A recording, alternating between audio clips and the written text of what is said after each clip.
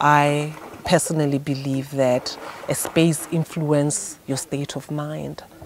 You know, the minute people get here as a group, they automatically relax.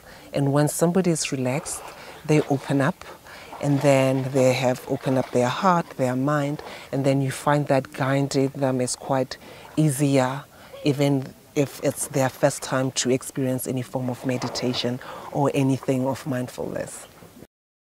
Here I am practicing an Eastern uh, philosophy and I love it so much and I connected with it so much. And then one day, boom, a light bulb moment and realized that we do have meditation in Setswana. We call it huiteza. Literal translation is to listen to ourselves and our grannies used to do that a whole lot at where Masimo open air. Wow. And that just blew me away. So, with this space all the time, because I now have an understanding from an African perspective, more Setswana.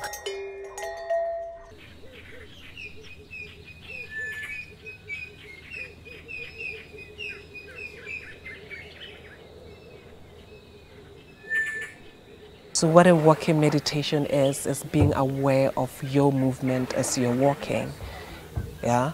And some people use that as a prayer or time for gratitude. Because most of the time when we are walking we are not even aware. Can you tell me how you walk? Does your toes touch first or is the ball of your leg or is it your heel? We are not really aware. It's some sort of an autopilot thing. So it will just be a time to be really aware of our body and our body movement and we can use that for prayer or for gratitude or just to create space in the mind.